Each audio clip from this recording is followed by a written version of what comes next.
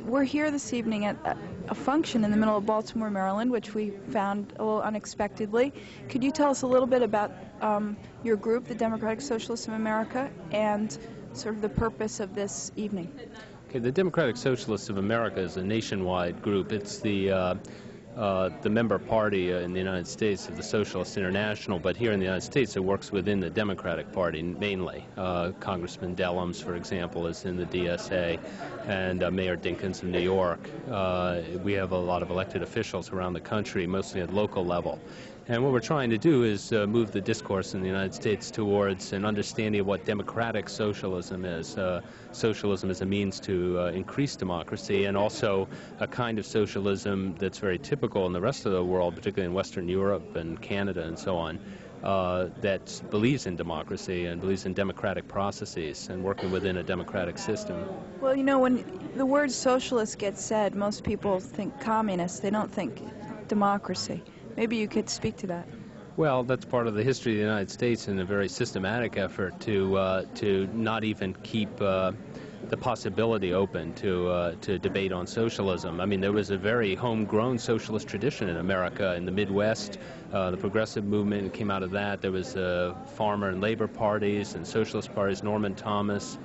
Uh, and also the vice president under uh, under Roosevelt, uh, Henry Wallace, was a socialist. Uh, these were people who believed in an American kind of socialism based on uh, democracy and access to uh, to a decent standard of living for all, and also democratic control over the economy.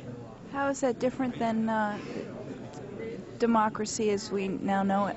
Well, right now, uh, 1% of the country owns uh, about 90% of its resources and dictates, therefore, uh, what kind of media we get. The media is, by and large, the network media is controlled by a very small group of companies. The politicians are backed uh, and uh, put into office through large-scale uh, corporate PACs. this is not a democratic form of, of, government. It has the, the democratic structure and therefore allows for an evolution towards democracy. But what it really requires is that everybody could participate in the decisions that really affect their lives, and those are economic decisions. In other words, there has to be economic control I mean, democratic control over the economic resources of the nation through uh, um, uh, some some um, voting and democratic procedures in industry, trade unions, strong unions, uh, uh, democratic participation in investments and decisions of uh, economic planning, for instance, future urban planning, uh, planning for the environment, uh, more mass transportation, for example, and, and less uh, reliance on oil. those are things that most people in America want. Most people in America want universal health care, but they don't have access yet to that kind of decision making, and the Congress they have uh, don't represent those interests yet. They they don't take a position which would, in the rest of the world, be called a, a social democratic position or a socialist position. How is your organization going to push this agenda through? Well, I mean, we're doing it at every level we can. We do it through work with at the grassroots level. Uh, we have our memberships in the locals, like here in Baltimore, our grassroots memberships. We work with uh, unions. We work with community organizations. Uh, but at the same time, we work realistically within the system as it is. We work within the Democratic Party as a left caucus, uh, left-wing caucus. We also have uh, successfully elected people to major offices in this country, and uh, and the uh, phenomenon of uh, Bernie Sanders is very encouraging to us as well. They, he ran as an independent. Uh, that's something we really like to see because that's part of the, the movement towards increasing the, the debate on democratic socialism in America. Have you elected any officials locally here in Baltimore? Well, we've worked on the campaigns. None of them have been uh, been uh, people we put up as members of our own organization, but they're people we've supported over their, their opposition. So, I mean, Baltimore, everyone runs in the Democratic Party. Uh, the, everyone in office is in the Democratic Party. We have backed candidates we feel represent the interests of the you know working people in the city. Um, and we've been successful in that way. I mean, many of the people we've supported, like the City Council President Mary Pat Clarke, uh, the present mayor, uh, we preferred over the other candidate and helped work on his campaign. I mean, these people uh, are people who've been able to win and have been able to build up a constituency, not just through us, but but you know, we see them as representing uh, the interests of the people of Baltimore better than the other candidates. Given the structure of the two-party system, do you really believe that you can affect change within the Democratic Party? That's a big debate within our organization. It's an open debate. Many people in our organization would like to see a third party, like a Labour Party or a Social Democratic Party, like you have in Europe, or the New Democratic Party in Canada. But, uh, you know, that hasn't become a realistic option yet. Uh, it may be becoming one. Uh, the National Organization of Women has come out in favor of a third party. Uh, you know, if that were the case, uh, if labor were backing it and so on, then we would back it. But in the present situation, we, the Democratic Party has been traditionally the party of working people and uh, and uh, party in favor of civil rights and uh, and so on. So we'll continue to work within it and try to keep it on track, so to speak. You know, keep it working in the interests of the majority of people. I have two more questions for you. One of the things you touched on was Congress, and here you are outside of the Beltway, Beltway, I think it's called, isn't it? And you're sort of looking at Capitol Hill from a certain distance. What's your view of how Congress represents the people in your community? Well, in our community, in downtown Baltimore, we have a very good congressman. We have a progressive congressman, Kweisi Mfume. Um, by and large, Congress is the best government money can buy, and uh, we're not too happy about that. But uh, you know, hopefully, the example of people like Bernie Sanders and Ron Dellums and, and even Kweisi Mfume, you know, would really make a difference over time. People would realize they are more consistent and honest and uh, and working the interests of their constituencies. And finally, could you talk about this evening and why you put it together as a part of an ongoing educational effort, and why did you have Bernie come?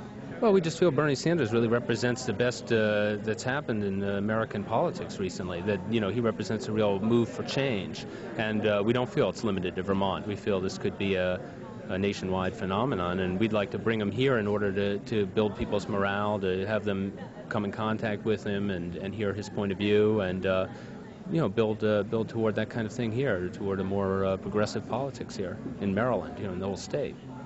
Are you surprised at the turnout? No. It's Baltimore. I understand it's bigger than Burlington. Harris, thank you. Okay, thank you.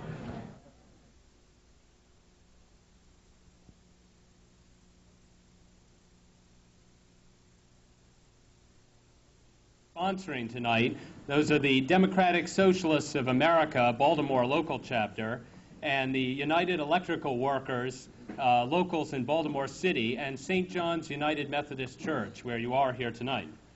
Um, we're very excited tonight to have with us Congressman Bernie Sanders, the first independent and first socialist congressman to be elected in uh, the U.S. Congress in, a, in 50, 60 years, I believe. Um, I think that's wonderful. I think it's great to have him here in Baltimore. Uh, before we get into the program, I'd like to remind people that there are literature tables over here by the sponsoring organizations. And uh, we hope you'll stop by and sign up so you become aware of other events like this if you heard about this only through posters and the like. Um, the person who will be introducing Bernie Sanders tonight is Bob Simpson, a member of the United Electrical Workers local and a candidate in September's primary for City Council in Baltimore's 6th Councilmanic District. DSA, the Democratic Socialist, has endorsed Bob's campaign because we believe he represents the interests of working people and other progressive values in this uh, upcoming Baltimore City election. So before Congressman Sanders begins, it's my pleasure to present to you Bob Simpson.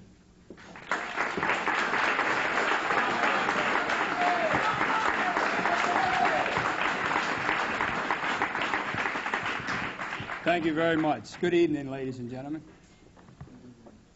Well, Harris took away a little bit of what I was going to say, but I'm just up here to introduce a man that defeated all the odds that I believe and what he accomplished. I'm sure if you talk to him, he accomplished what he accomplished of becoming a, U.S. congressman. It's probably more than he, it's the best thing he ever accomplished in his life, even though he did a lot. And uh, I had the chance to meet with Mr. Sanders in front of the RTC, which we had a demonstration, the union uh, had a demonstration in front of the RTC in Washington, D.C. a couple months back.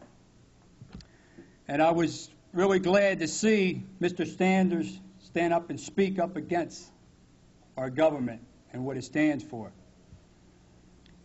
And I'm also honored to stand here tonight and introduce Mr. Sanders.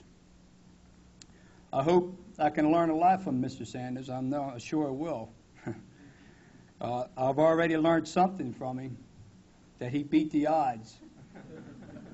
and if anybody can do that in these days and age in political times, he's got my vote for President of the United States.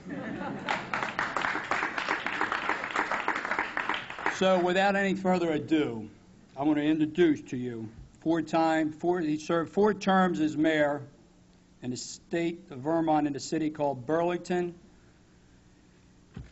Currently, U.S. Congressman of the United States, Mr. Bernie Sanders.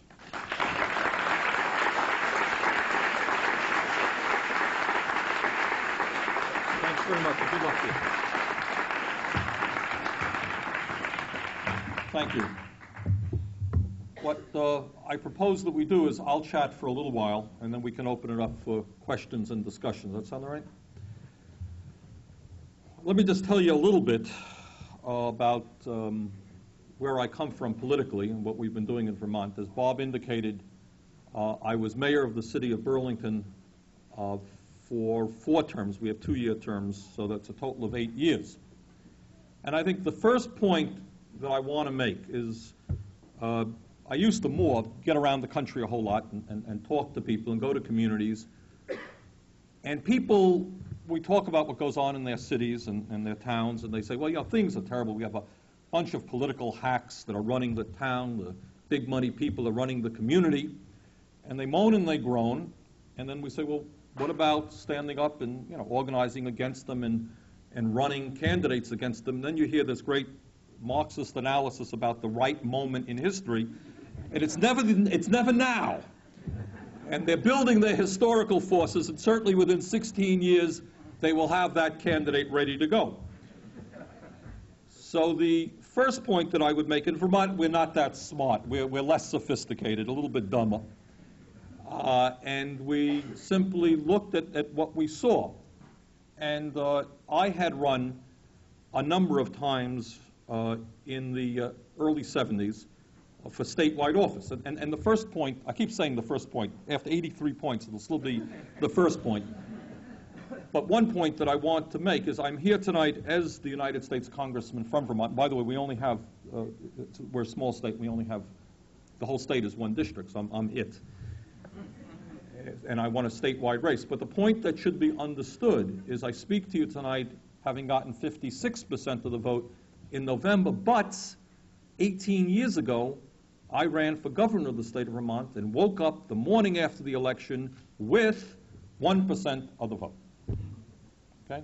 On another occasion, I had gotten 2%, another occasion, I had gotten 4%, and in 76, running for governor, I, on a third party, this is all third party, I'd gotten uh, 6%, which is the highest that I had gotten. So the first, oh, here we go again. First point that I want to make for the fourth time is that major breakthroughs don't take place overnight. They really don't. Especially, you all understand what we are up against, those of us who are involved in progressive politics. If you run in a race, the odds are very likely that your opponent will heavily outspend you. The odds are very likely that you're not going to get good coverage in the media. Uh, and persistence and doing it again and again, in fact, uh, paid off for us in Vermont. So that what happened is in the beginning of our party, we had a third party, which is now fairly defunct. It's still in existence, but we have built a very strong progressive movement, which I'll tell you about in a moment. But in the beginning, this is what would happen. You had the Democratic candidate running for something and the Republican candidate. Historically, Vermont uh, had been a Republican state, uh, moderate Republican, not right wing and then Democrats, and then we had a third party. And what would happen is debate after debate, television program after television program, the progressive third party people would in fact get the best response from the audiences. And people would say, you know, you guys make a lot of sense. And then you go up to them and say, you're going to vote for us? And they say, oh, of course we're not going to vote for you. You can't win. You're going to vote for the Democrat. You're a much better candidate. Everything you're saying is true, but we can't waste our vote. Waste our vote was the expression. So if there's any term that drives me crazy, is this quote unquote waste our vote. So we went through that. But in the process, what happened is you saw people would say, you know, I thought those people were really crazy, but you know, I heard them for the 14th time, and they're making more and more sense. And we got more and more votes. And we put together a pretty good group of people. Um, I dropped out of politics for a while because it got uh, it tiring and I had to earn a living and, and so forth and so on. But in 1980, uh, I, some, uh, you know how politicians always tell you, friends of mine asked me to run for president of the United States, and I, in fact, it's actually true in my case. A few friends did actually do it. and uh, what happened is they had analyzed, uh, a couple of my friends uh, had analyzed the voting returns in Burlington, which is in our state, uh, far and away the largest city with 40,000 people, not a very large city, but for Vermont, it's twice the size of any other city. And it turned out that I had done pretty well in working class areas. And anyhow, we decided uh, to make the shot in uh, 1981. Our elections are in March, March meeting. And uh, we started off with literally uh, two or three people and almost no money. Uh, by the time the campaign ended, we were taking on a guy who had been mayor, conservative Democrat, who had been mayor for 10 years, five terms. The odds against me were probably, you know, overwhelmingly against me. No one thought we had a shot at it. To make a very long story short, we gained momentum throughout the campaign. Um, we probably on election day had 100 people out on the street, and we ended up winning after a recount by 10 votes. And uh, the first year was a very bitter and difficult year because it reminded me, some of you may be familiar with what happened to uh, Mayor Harold Washington uh, in Chicago and, and, the problems that he had with his city council, and it was some, to some degree similar in Burlington. Their, their, attitude was, if we could prevent Sanders from doing anything, um, we can stop him, and two years later, we'll tell people he accomplished nothing, and, and we'll bring back uh, the Democrats. So it was a very, very bitter fight, and what happened is, after the first year, uh, what we did is out of my victory, I had two out of 13 supporters on the, on the city council. It was a wonderful coalition. The very first Citizens Party candidate in America uh, was elected, along with a very wonderful uh, woman who had been a conservative Democrat, but stood with the people. Conservative in that instance was, was not bad. Uh, and so we had a coalition of an 80-year-old former Democrat and a, at that point, very young Citizens Party candidate myself. And um, we hung on against tremendous pressure that year, and we organized a political movement that year. And uh, one year later, when half of the Board of uh, City Council came up, we won three more seats, which gave us veto power. And from then on, uh, up until today, Burlington has had a very strong three-party, we have been a strong three-party city. And the progressive movement has never had a majority on the city council. We've either had five or six out of 13, but we've had the mayor's office now. We're going on to our 11th year. We've won now six straight elections. And Burlington today remains uh, a city with a good progressive mayor and five members on the city council. But the point that I'm trying to make here is that did not come out of nowhere. That came out of many, many years out in the political wilderness. Uh, it came out of, in the city of Burlington, knocking on doors and talking about the issues. You know, people say, how do you do it? And the answer is, it is really not very complicated. What you do is talk the issues that impact the people in your community, whether it's housing or highways, uh, education, whatever it might be. You tie those issues to the national issues, because I think everybody knows that the city of Burlington or the city of Baltimore in itself cannot solve its housing problems, its homelessness, its tax problems, it obviously, we need changes on the national level as well, and you make those connections. It's really not very hard. Uh, and um, so after eight years uh, as mayor, uh, I ran for uh, the Congress. Uh, we lost in 88 by three percentage points. Um, what was, it was a good campaign. Uh, the Republican, a moderate Republican, got 41% of the vote. I received 38% of the vote. And interestingly enough, the Democrat received 19% of the vote. And it was a strong Democratic candidate, the guy who was the leading, their leading member in the Vermont House of Representatives. So what that did is it told people for the first time, we saw that on a statewide race, that the progressive movement could make a good showing.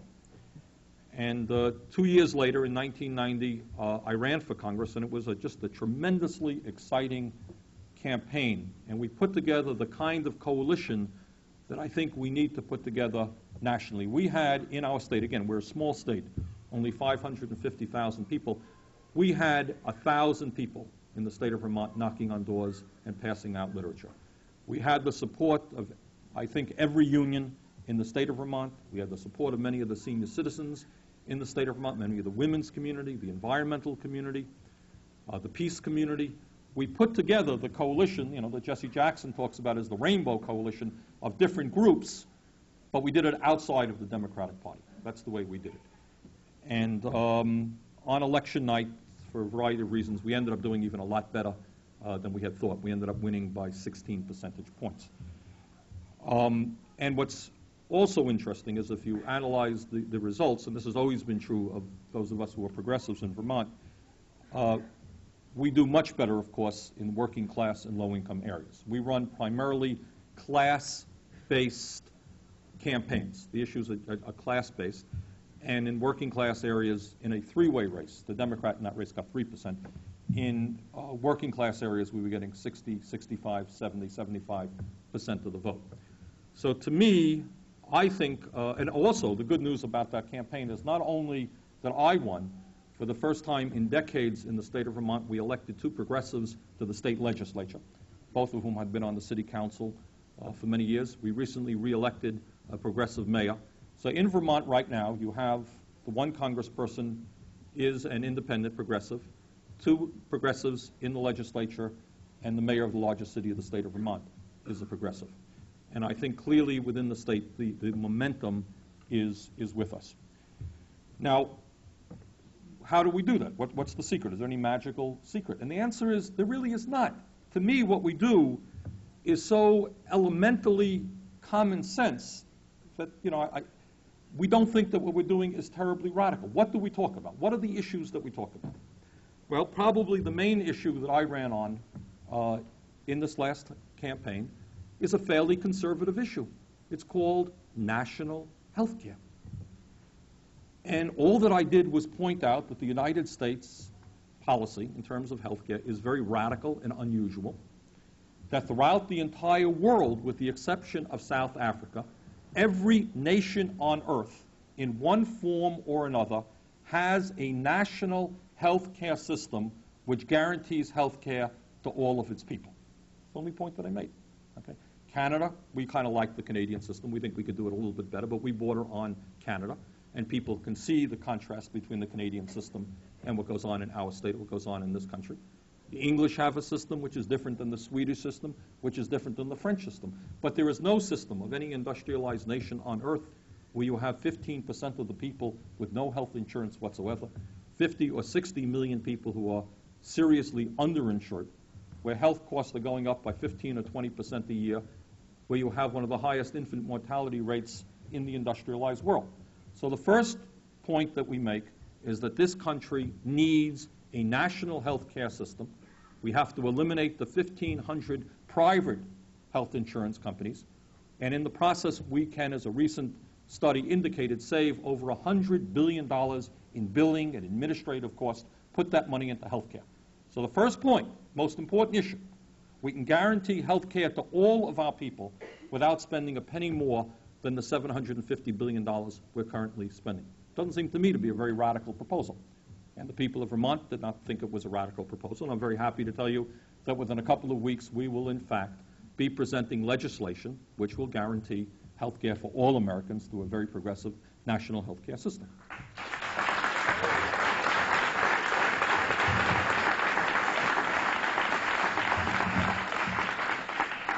What else did we talk about, which we honestly think is not terribly radical?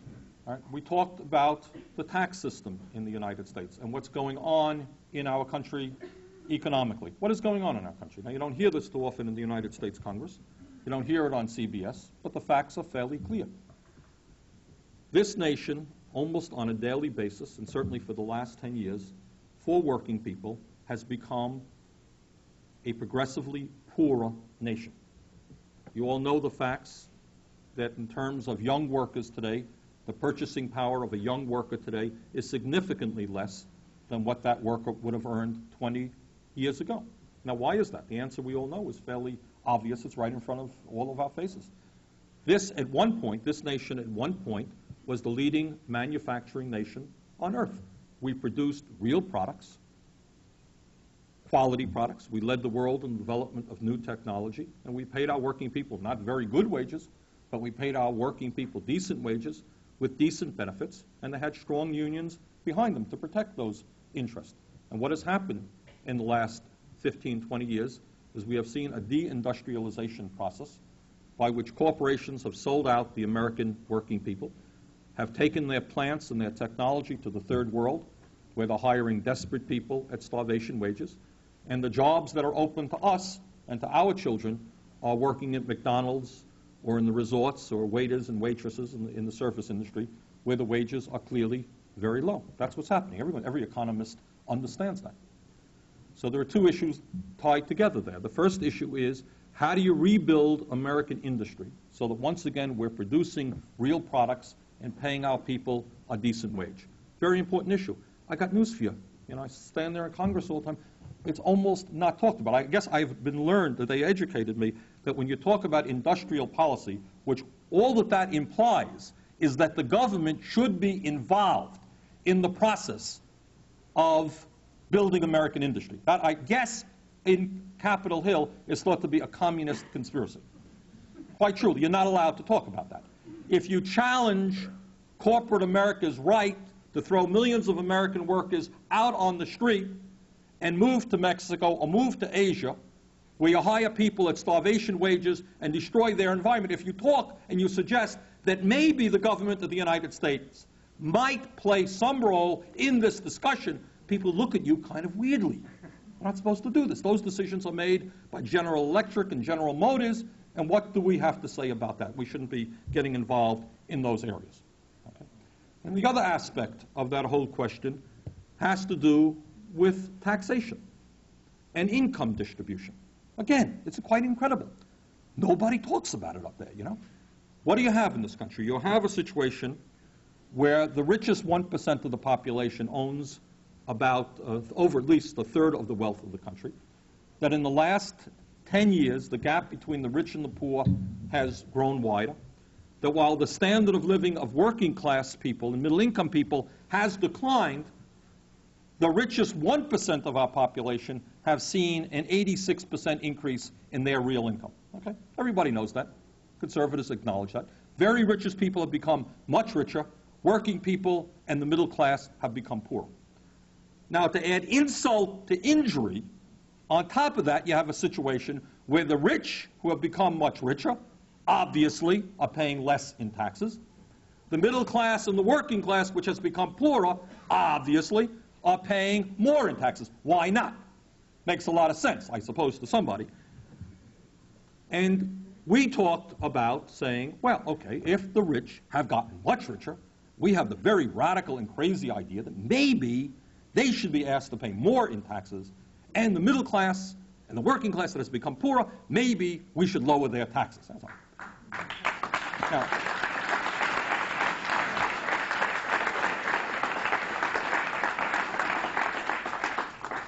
and the truth, the point that I'm trying to make, wherever I speak, and whenever you talk to normal people, they say, say of course that makes sense. I mean, rich have gotten richer and they're paying less in taxes. Working people got poorer, paying more in taxes.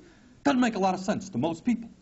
Yet you hardly hear that issue discussed in the United States Congress. It is quite astounding. But the people of Vermont, and I think the people of America, want to hear that message, and we took that message uh, to the people. Uh, we talked about a democratic foreign policy where instead of supporting military dictatorship after military dictatorship, such as the governments of El Salvador and so forth and so on, Instead of trying to overthrow the democratically elected government, Sandinista government of Nicaragua, maybe we would work with the poor people of the third world rather than uh, constantly trying to uh, put them down. We talked about that issue. Uh, we talked about radical changes in the environment, making the point that everybody knows that if present trends continue in terms of the destruction of the ozone layer, in terms of the greenhouse effect, in terms of energy, uh, the country faces a questionable future. The world faces a questionable future. Talked about that. We talked about equal rights for women, for minorities. We raised issues that, in fact, they really are not very radical issues. They really are not. Uh, we think that on, on all of the points that we made, the vast majority of the people are on our side. We talked about the fact that, thank God, now that the Cold War is over, that we can significantly lower uh, military spending, and I proposed a 50% reduction in military spending over a five-year period. I don't think that's terribly radical. I mean, others might suggest we could do more, but it would free up, you know, well over 100 billion dollars that we can use for education for our kids who are having a harder and harder time affording college.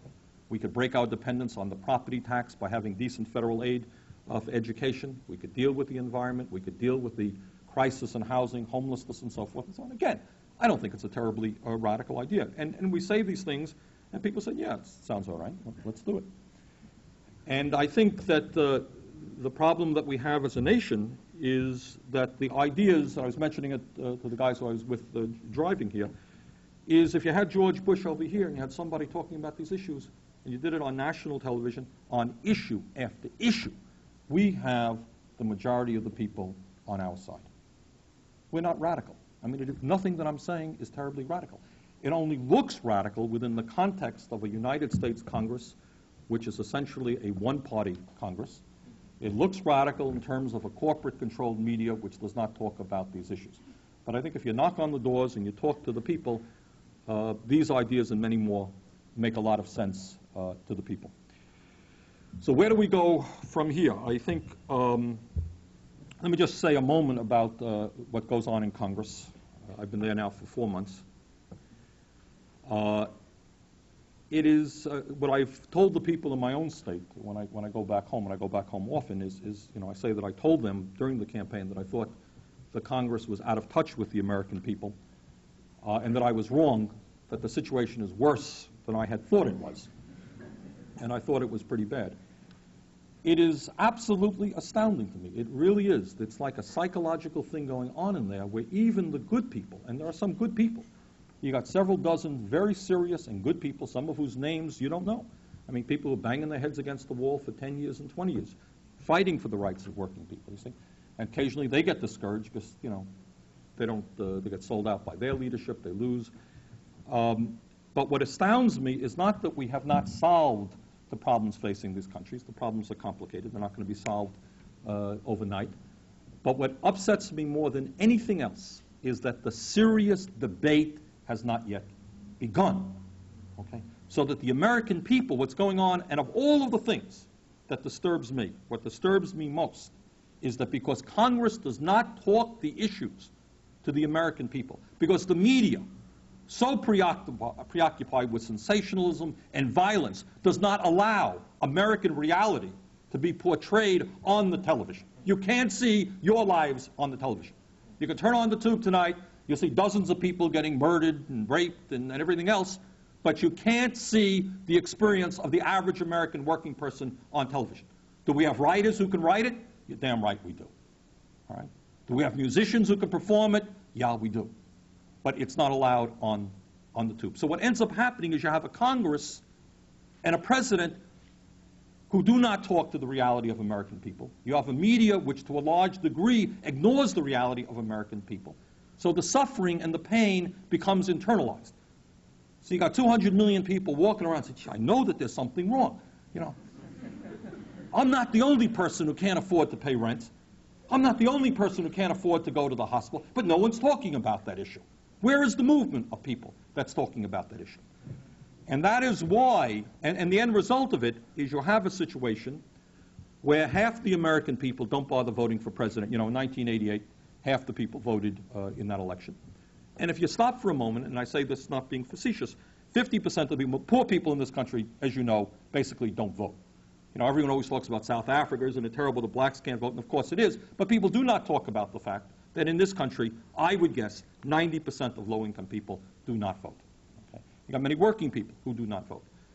And their refusal to vote is not an irrational act.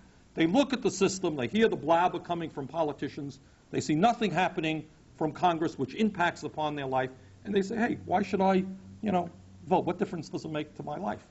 And that analysis is not necessarily uh, an incorrect analysis. And then you have in the off presidential election, you know what the voter turnout was in 1990? Approximately 33% of the people voted.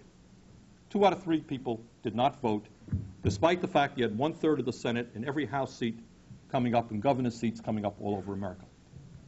And what that is, it's not talked about too often, but we really have a right to raise the question to what degree we remain a democracy when so many people do not participate in the process. And then if you look at the elections, you found out that 96% of the incumbents were reelected when one-third of the people voted. Okay? And um, so the, the question there is, how do you build a political movement which gets people excited, which makes people begin to understand that government, in fact, can represent their interests and deal with some of the problems facing uh, their lives. That's the challenge.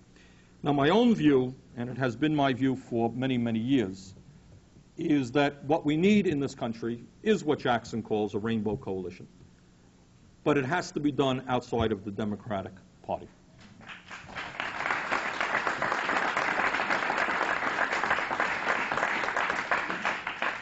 And I say that here, and I'm delighted to be here with DSA because they are a non-sectarian group, and we have worked with them, and, and you know, we recognize that honest people will have differences of opinion.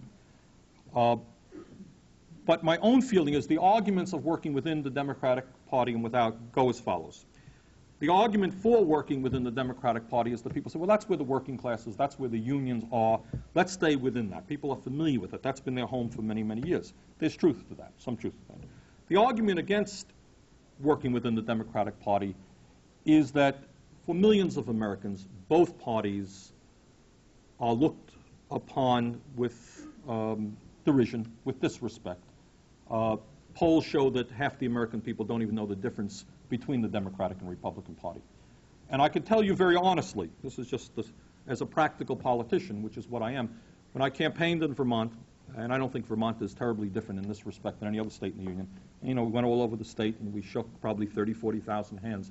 I don't think that more than a dozen times people came up to me and said, Bernie, I can't vote for you because I'm a really strong Democrat and I believe in the Democratic Party, or I'm a strong Republican and I believe in the Republican Party. They don't. I think what ends up happening is people don't see much of a choice. There's the option. You know, you've got the Democrats, Republicans. Sometimes this one's a little bit worse. Sometimes this one's a little bit better. But I think that by standing up and, and telling the truth, that both parties are controlled by big money, which is clearly the case. That neither party, and I don't want to, and I should tell you, by the way, that within the Congress and, and the Democrats, you have a lot of good people, and I'm not here to put them down, some, and you know their names, good people who year after year have fought the good fight. But I think that nationally, the party has, on issue after issue, sold out so many times that if you go before the people and say, hey, I'm a Democrat, you don't usually generate a lot of enthusiasm. Okay? Let me just touch on uh, my experience in observing Congress and being, just give you some examples of what goes on there. You had, right now, one of the problems, I won't get into these, these are, you know, problems that we have to deal with up there on the Hill. Right now, one of the real constraints that we have is the so-called Budget, uh, Budget Reconciliation Act of 1990 which, as you know, was engineered by the leadership of the Democratic and Republican parties, ostensibly to deal with the deficit, which in fact is a very serious problem. So what they did is they said, okay, let's get together and we agree that you can't, if you cut, mili- you know, the conservatives and liberals, they came to an agreement which basically limited the Congress's ability to deal with many of the serious problems, okay? Now that agreement, the initial agreement in 1990, in the fall, called for a 60 billion dollar cutback in Medicare over a five-year period, called for a 12 cent increase in the gasoline tax and other cutbacks. Both parties agreed, the leadership of both parties agreed to that. Rank and file stood up, they modified it a little bit. The S&L fiasco, which is the greatest single ripoff in the history of this country, both parties caused it equally. Neither party likes to talk about it, and both parties are in bed in a very regressive bailout approach. Okay. I,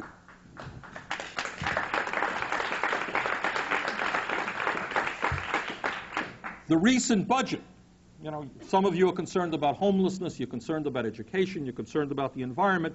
They reached a budget agreement. The president brought forth his proposal, and the Democrats said, no, this will not work for us. And they came back with their proposal, which was literally 99.4% of the president's proposal. They made changes. Okay? six-tenths of 1% changes. And, you know, I was obligated to vote against both proposals. But I think on issue after issue, you really find that um, the leadership of the two parties are not, uh, are not very far apart. And I think, and I have no magical solutions, it's going to be very difficult. But I think if we break away from the Democratic Party, if we get the unions to begin to stand up to revitalize the union movement, bring them together with the environmental movement, the women's movement, the peace community. And I know it's easier said than done, believe me, I know that. Uh, but I think that that is the long-term task in front of us. I think we have the issues that can move the American people. I think the American, people are extremely alienated from the political process. They're angry, they're frustrated, they want to hear something. And I hope uh, that if we all stand together, and fight for a society which guarantees health care to all of its people, a society where we have a fair tax system, a society where we take a bold approach to the environment, a society which wipes out homelessness, provides civil rights for all people. I think if we take the lead in bringing forward those issues, I think you'll be surprised at the kind of response that we'll get in our neighborhoods, in our cities, and in our states. Thank you very much. I'm happy to take questions or comments.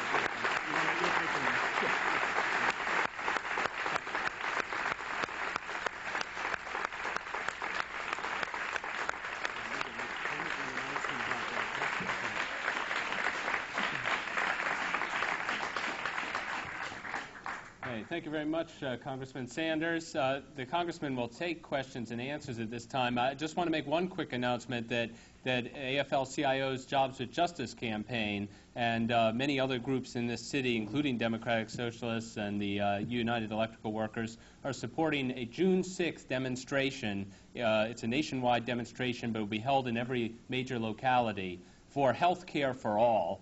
And uh, if you want more information about that, you should sign up on the table because the, uh, the, the place and time are being established, uh, you know, even now. So, yeah, almost as we speak. So uh, I'll turn the floor back over to the congressman. Okay, comments, questions? Uh, yeah. Yeah, Bernie, um, will the Gulf War be an issue in your 92 race?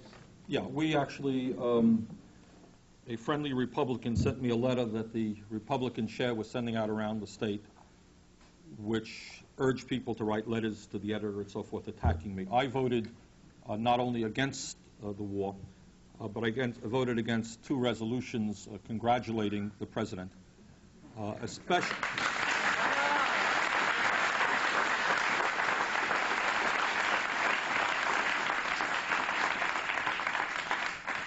especially one resolution which praised the president for literally, this is the word, his quote-unquote unerring judgment. and I think what was upsetting about that, in all seriousness, again, and, and here you talk about the Democrats controlling the House, is, I mean, in terms of his unerring judgment, I think the Kurds might have a word or two to, to, to suggest about that. But the degree uh, to which yeah, that there was a basic, uh, total surrender uh, on that issue. Uh, Will it, will it hurt me?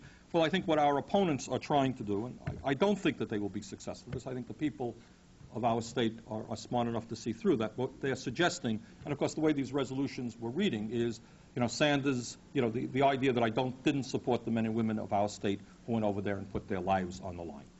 And of course, that was not the case. My concern and strong feeling was that the president was very wrong, his policy was very wrong. And I had a hard time from the very beginning saying that I thought that Saddam Hussein could be defeated without a war, and then suddenly after the war started saying, well, actually, I thought the policy was a pretty good policy. Um, and I couldn't do that, and uh, so I didn't. Yeah. How are they treating you in Congress? Did you get the committee assignments you wanted, and are you uh, asked to co-sponsor bills? Uh, Yeah, actually, on a personal level, uh, the people there have been really quite kind to me. Uh, When I ran for Congress, uh, because I wanted to get good committee assignments, what I said is that while I will absolutely remain as an independent, I wanted to function within the Democratic caucus in order to get committee assignments. What happened is that some of the conservatives in the Democratic Party and some others said, no, we don't want Sanders in there. And then I was asked if I would join the Democratic Party, and I said I wouldn't. And we reached an agreement uh, in which they said, okay, uh, don't try to come in, don't, don't get into a fight there, uh, and we will treat you as if you were a Democrat and give you, you know, basically the committee assignments that you want. And they kept their word on that. So I am on the, uh, so it worked out well for me. I mean, they didn't get the fight and the division which they feared. I got the committee assignments that I wanted, so it, it worked out okay. Uh, I wanted to be on the banking uh, committee, and that's the committee I'm on, and I wanted to be on government operations, and that's the committee I'm on. And in terms of personal relationships, people have been very kind. And uh, yes, I'm asked to co-sponsor, and I, you know, I think I work uh, well with those people whose views are close to mine. Yeah, back there. Given the fact that a lot of the media seems to be lapdogs for corporations, is there any way that the progressive movement can make the media an ally and get some of the ideas to people who might not find it any other way? Well, that's a, a very good question. And uh, we have with us today, actually, uh, ironically, two people from Vermont who have been active for many, many years in public access television. Uh, actually are up here this week uh, to be with the Vermont congressional delegation. And they are really heroes and heroines of uh, public access television. One of them is Nat Air, and where's Lauren? Lauren, you here? There's Lauren. Stand up, Lauren. They have both done what we have done, and when I was mayor, we pushed this, and, and we're still continuing to push it, is um, I don't want to tell you that it's, you know, it's the major breakthrough, but it's a start. We have two public access channels now, which televises all the city council meetings in our district, and anybody wants to get on, the progressives have uh, a program. We have our, our progressives who are in the state legislature have a program. I'm on. Uh, the Republicans have a program. I think Democrats may have a program. It educates people, and the more people are educated, I think the better we do. So I think using public access is important. But your point is goes deeper than that.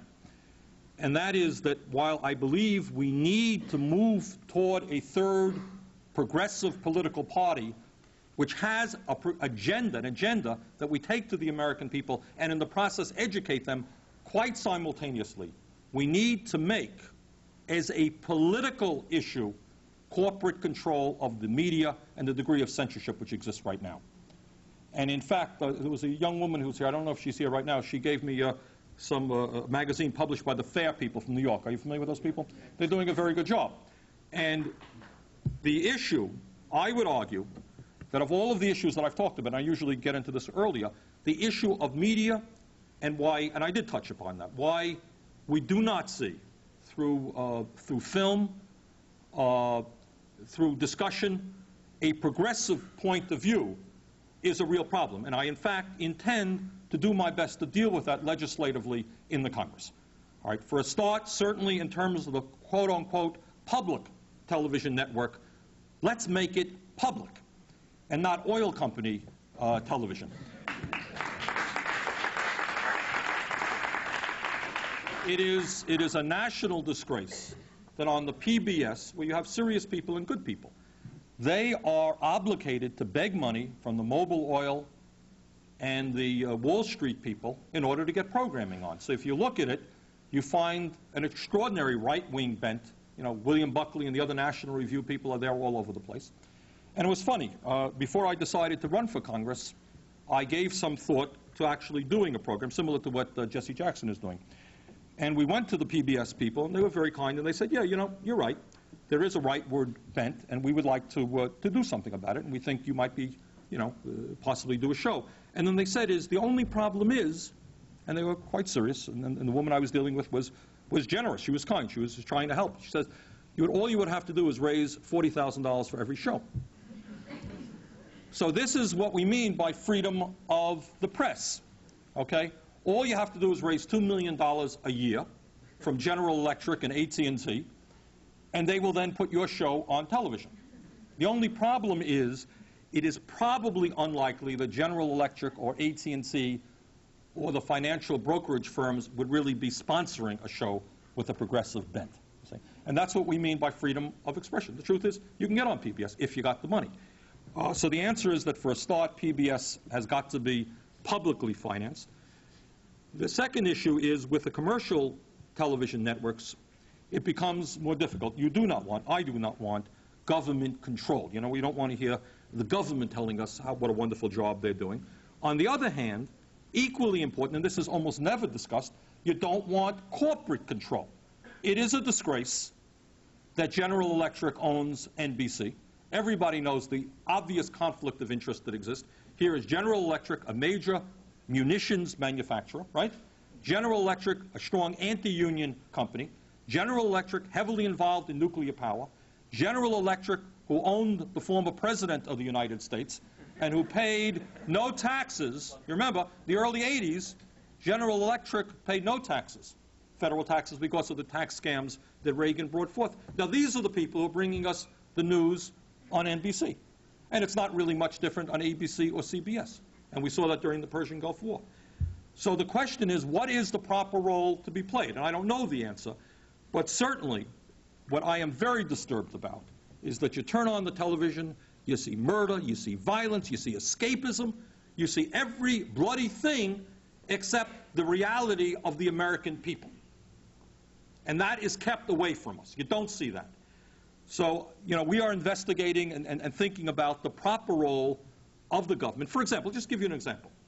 If once a week you had a prime time program which had political leaders talking about major issues, maybe had some film describing the problem, okay, had debate, okay, then on a Tuesday morning the kids go to school and the teacher says, what did you see on the environment? What did you see on the civil rights issue? What, what did you see on health care last night? Let's talk about it. The kids don't see these things. They're not on. They're not on.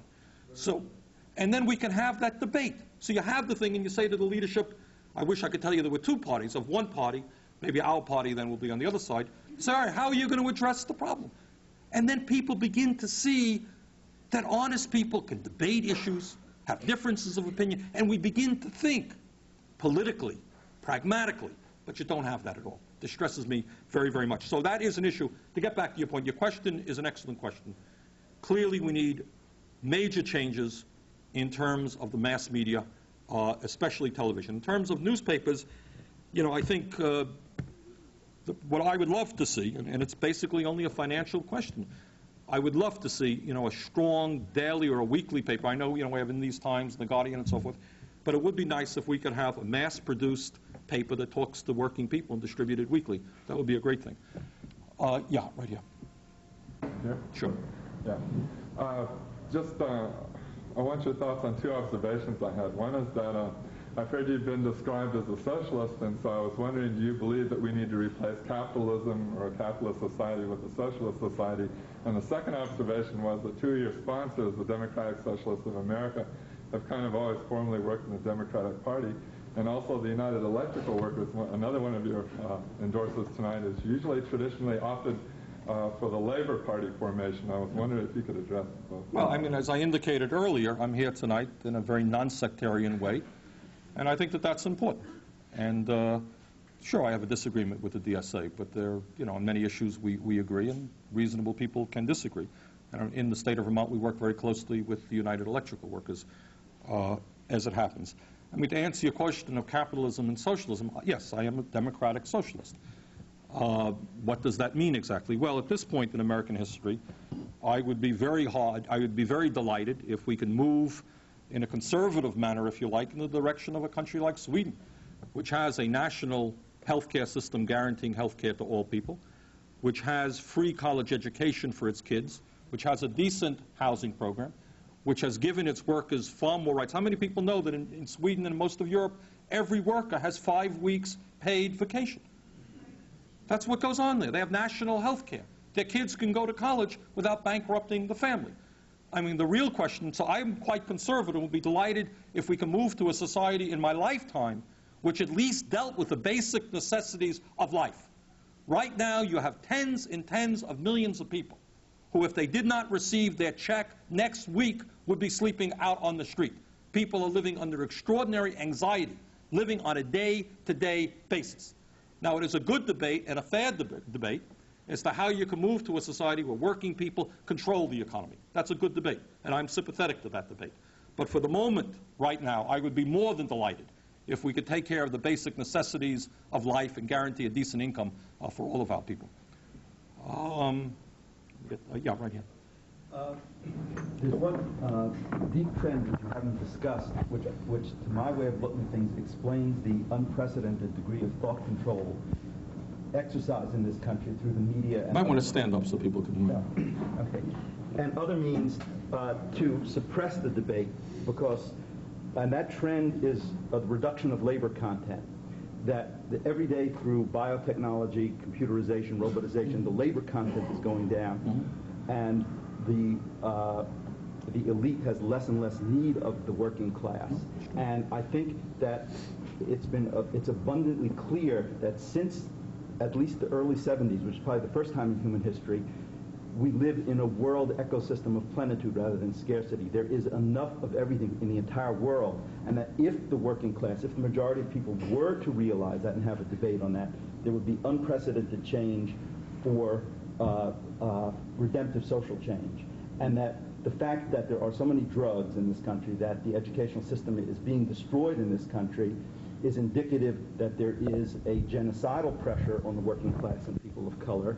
And uh, how do you feel about that and the rates at which that process is going to work with regard to the rate of possible organizations to counter those trends? That's a question, right? I think a lot of what you're saying is true. I mean, you stop for a second. I mean, you, you know, one of the points is that so many things happen to us and we begin to become acculturated to it. We begin to take them for granted. For example, I remember I was teaching uh, last fall at the Kennedy School, very conservative institution, I should tell you by God. And um, we, uh, I had a forum with some uh, young people from Germany who came over. And this young lady had just, they had visited. They went to New York City uh, the week before, and she was visibly agitated about what she had seen in the city of people eating out of garbage cans and sleeping out on the street. She was, she could not believe what she had seen. We get used to it because we see it all around us. In the same sense, your point is imagine we take for granted that robots, it's perfectly normal. Somebody comes up, well, you're no longer needed here because I have a robot to replace you. You have no say about that decision. By the way, we're moving our factory to Mexico. Thank you for your 40 years of labor. Here's a little gold watch for you. And you have nothing to say about that. You've been beaten down and you understand how powerless you are. We take that for granted. That's who we are. And I think that that whole process of dehumanizing people, making us feel much less than human, making us accept that, is, a, is an awful and, and terrible thing. And I, I agree with uh, much of what you said. Why do I not see one woman's hand up here? What's going on in Baltimore? All right, there we go. Right. You said you were on the banking committee. Yeah. The banks in this country are in a frightening state, Yes. and I'd like you to comment on that, and also on the impact of the national debt on what you hope to see in terms of uh, addressing our social needs with our hope for wealth, if we Right. still have any.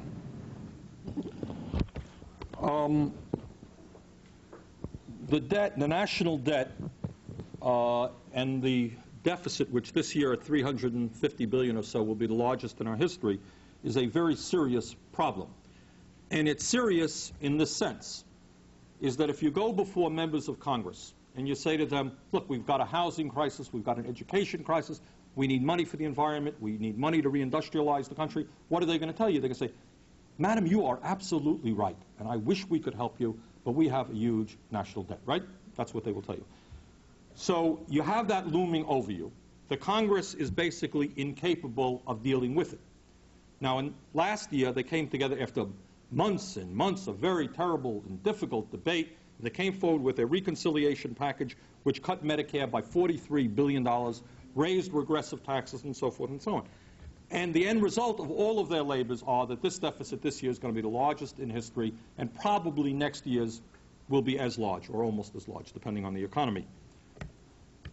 What's the answer? How do you deal with a deficit in a fair and progressive manner? There are only two ways, and it's not very complicated. The reason you're in a deficit is every economist, conservative, radical, will tell you, is that over the last 10 years, we have given huge tax breaks to the rich and to the large corporations.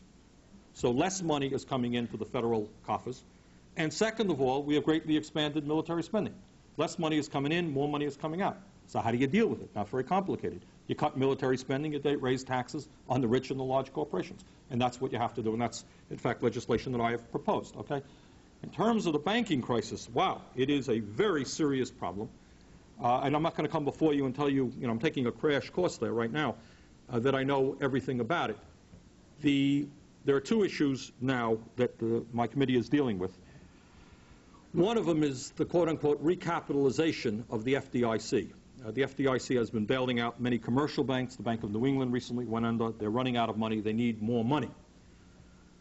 What do we want to do? What's the ideal thing to do, which is not going to happen, but which I'll fight for? For a start, what you probably don't know in terms of bailouts is that the law says that you're only guaranteed $100,000. Some of you probably don't know that people who have more than $100,000 in the bank have already been bailed out. Okay? You didn't know that. It doesn't get publicized a whole lot, but they have been. That's under the scheme of too big to fail, that if we don't, take, et cetera, et cetera. And I don't believe in that, and I, I and I, I won't support that. Uh, the second issue is how do you raise the money internally from the banking system itself in a progressive manner? Now, one of the things that's going on now is that many, many tens of billions of dollars in American banks, especially the large banks, are from foreign concerns. Okay? They do not pay any assessment to the FDIC. In other words, that's how the FDIC makes its money, by assessing deposits. They do not. So what some of us want to do is not subsidize these foreign accounts. We want them to pay. That's going to be a very hard fight. The large banks do not want to see that. In fact, the small banks are sympathetic to that. My state, we're mostly small banks. So that is to assess some of these foreign accounts so that it takes the burden off of uh, American bank, uh, banking system. Uh, the real challenge that we face now is to make certain that you don't have a savings and loan part two. And that is to hit, basically as these banks collapse, for to have the FDIC run to the American public to bail them out. Um, and we are doing everything that we can to try to prevent that from happening. The bailout has got to be based, to the degree that there's any bailout, on asking the upper income people to start paying for it and not working people or middle income people. So. Um, yes, right here. Yep, stand up and be loud, please. Uh, I was wondering if you could talk a little bit about campaign reform, Yep. especially uh, as far as PACs, and do you see any kind of momentum as far as Yep. campaign? Um, that's a very important question, and I, and I should have touched on it earlier, because ultimately, we're not going to have political reform in this country until you have campaign finance reform. What we have now is, as you know, the exception to the rule in terms of, of democracies around the world. Right now, if I'm a multimillionaire, essentially, I can put as much money as I want into my campaign, help you with your campaign, and it, it enables rich people to buy elections, and that's obviously uh, unacceptable. The three features that we need, and, and the Congress is now dealing with it, and you may get something. I am hopeful that that might be one area where Congress, uh, if not doing you know, an excellent job, at least might move forward to minimize some of the um, awful uh, aspects of the present uh, campaign finance system. The three components of a serious campaign finance reform package would be the following. Number one, and most importantly, are limitations as to the amount of money that can be spent. So if you and I are running together, and I'm a multi-zillionaire, and we can only spend, say in my state, $500,000, it doesn't matter, you're neutralized. I have a chance to at least raise half the money that you, and you can only outspend me two to one, right? But when the sky is the limit and you can raise 10 times more money than I can, most of the time you're going to beat me. Okay? So that's the first thing, a limitation on the amount of money that can be spent. Second of all, we need to do what most of the world does, and that, has, and that is a very significant amount of public funding of elections. That also equalizes it. And, you know, I hear some people don't like the idea of public funding. Uh, they don't like taxpayers' dollars going into that. And the argument that many of us made, if you don't like that, you could have Mr. Keating uh, fund elections and then spend the rest of your life bailing out the S&Ls to the tune of $500 billion. When these corporations fund candidates, when the drug companies fund candidates, the insurance companies, they know what they're paying for. You don't have national health care in this country because you have candidate and politician after politician on the take from the drug companies, the insurance companies, and so forth and so on. So we believe in public funding of elections.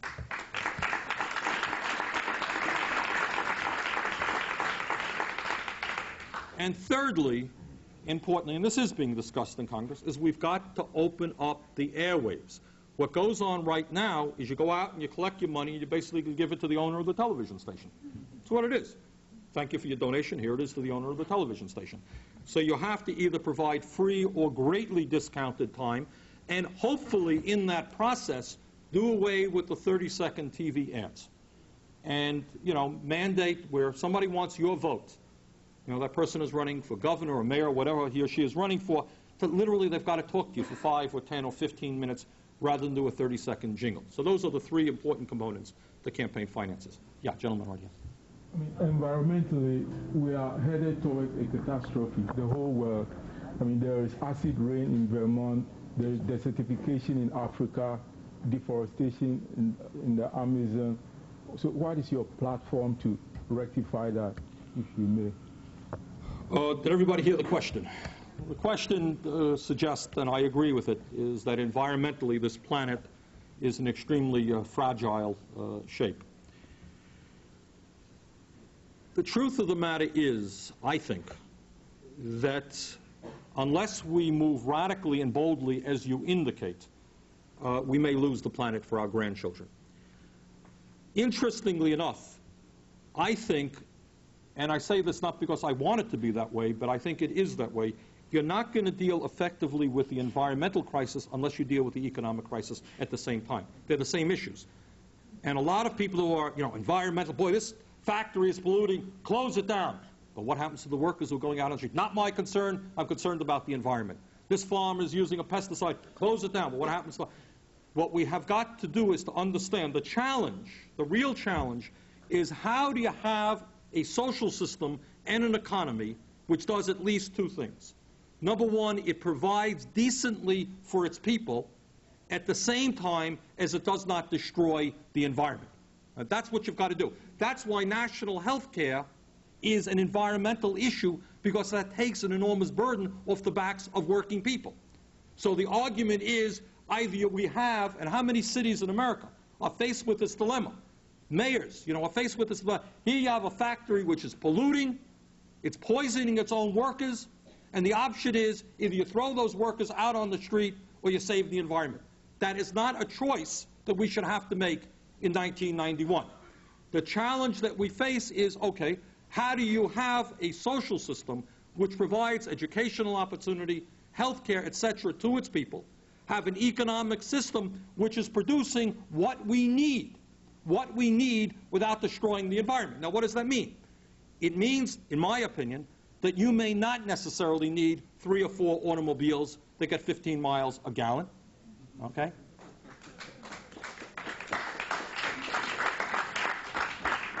that we don't need air conditioning in cars, which with the present technology are destroying the ozone layer, etc., etc. All right?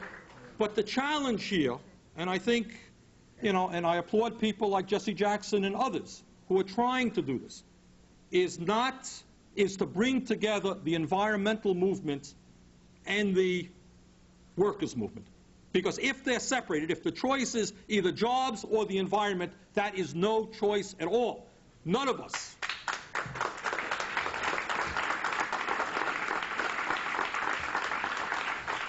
And it can't work. Politically, it can't work. So we've got to bring people together. It's, it's not easy, but I think by providing people with the basic necessities of life, by producing the products that we need. In Vermont right now, what we are trying to do, we have a terrible problem. Probably it upsets me emotionally as much as anything. Our farmers are absolutely up against the wall. We are a dairy state. Price of milk has collapsed. Our farmers are losing money. They're going out of business. And we're trying, and I think with some success, to bring together the environmental movement with the farmers and the workers uh, to protect the farms. Uh, yeah, gentleman right here. If you, if you shift the burden, the tax burden back to the big corporations and the, the wealthy, how, what, what measures would you propose to prevent capital flight and to prevent, Well, you know, businesses from moving out Sure. of our tax structure? Sure, that's a very good question. And the question is, you know, if you ask the rich and the large corporations to start paying their fair share of taxes, won't they pick up and flee and go someplace else where uh, they won't have to pay taxes? And that raises the question, and that's the problem that every mayor in America faces, every governor in America faced. And we had to deal with that when I was mayor of Burlington. You know, what they do, these corporations do, and it's not only an international thing, it's a state by state. You know, you want our company in your state, okay, how many years will you give us uh, uh, of tax-free existence? How will you subsidize the workforce in our factory? Well, New Hampshire is doing more. What do you have to say? And so forth. And they play off one state against uh, state and city against city. I think basically that takes us to the issue. It's a very important question, the issue of capital flight. And it takes us to some radical conclusions. And that is, it gets back to the question of American industrial policy. Okay? And I don't have a magical answer here. I really don't. But clearly, if the issue is the General Electric says, as they have said, as they have done, look, you know, we've been in your community for 30 or 40 years. Uh, you've kept us alive. Your workforce has sustained us. But we want to move now because we can get slave labor in Asia. We're picking up and going, and that's the end of the discussion. I think that the United States government has got to say, sorry, General Electric, that is not the end of the discussion.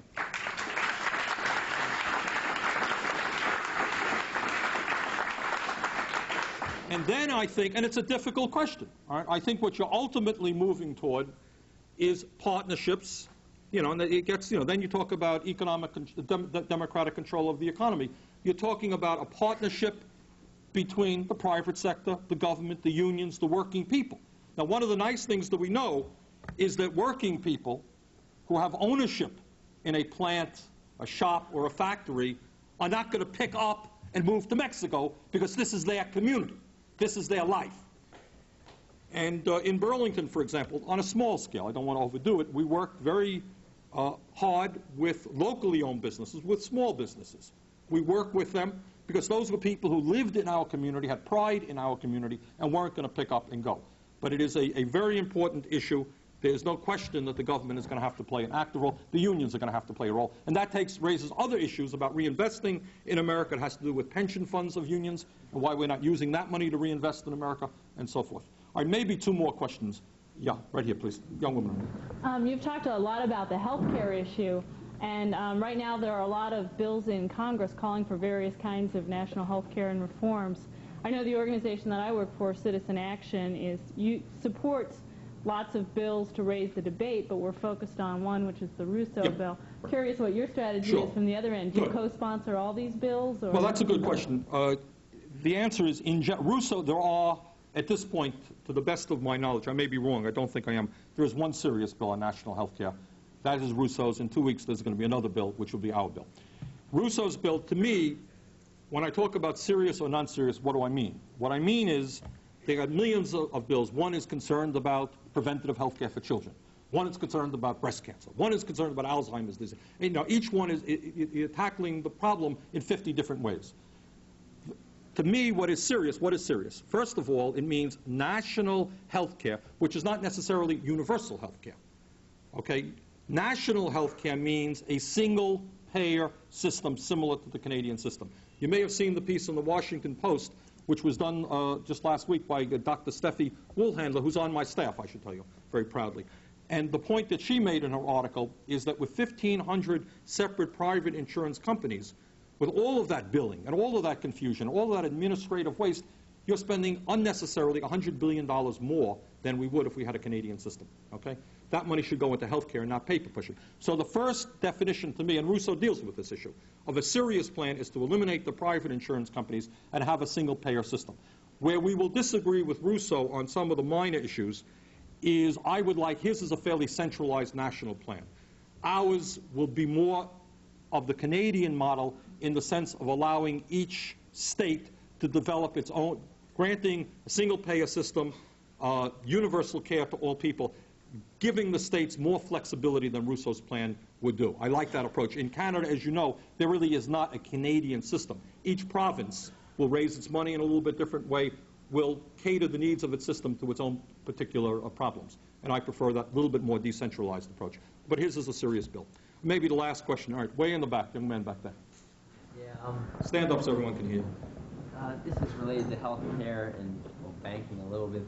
My brother was uh, helped organize a rally to um, to protest Bush getting an award from Hopkins as a, a you know honorary Masters of Public Health, and he tried to get the, the head of, of Francis Scott Key Hospital to speak at that, and he did, and then the head of Francis Scott Key Hospital, which is under the Hopkins Health um, mm-hmm. program, ended up um, getting a lot of flack from the board of, of trustees because uh, some of the members of the Board of Trustees were, for example, the head of the Maryland National Bank, which you know, is in a lot of trouble, but very conservative. Sounds like your average American university, right? So what do you do? Um, is there an like an uh, anti-ideological um, discrimination law? Yeah, yes, there is. It's called building a progressive political movement. That's uh, what it is.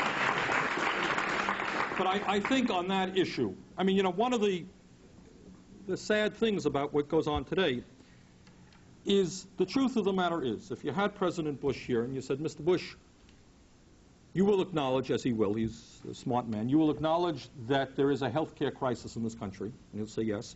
Say, what is your program? Tell me, what is your program? And he will say, we have no program. That's true.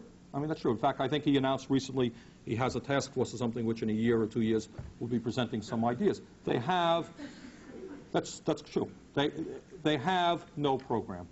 So I think uh, the one program that the, the Reagan administration in his last days mentioned, quite literally, it was in our papers in Vermont, Reagan's solution was said, well, the cost of health care is going to go up. Our suggestion to the elderly and to the working people is save your money. You're going to need it. Okay, thank you all very much.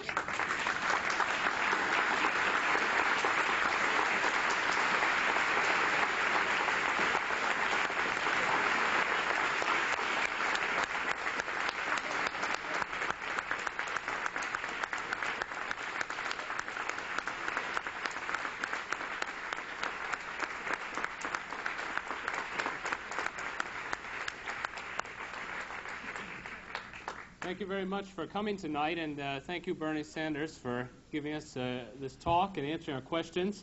I hope uh, this is the first of many visits to Baltimore, and hopefully we'll be able to send somebody to visit Vermont in the same way soon.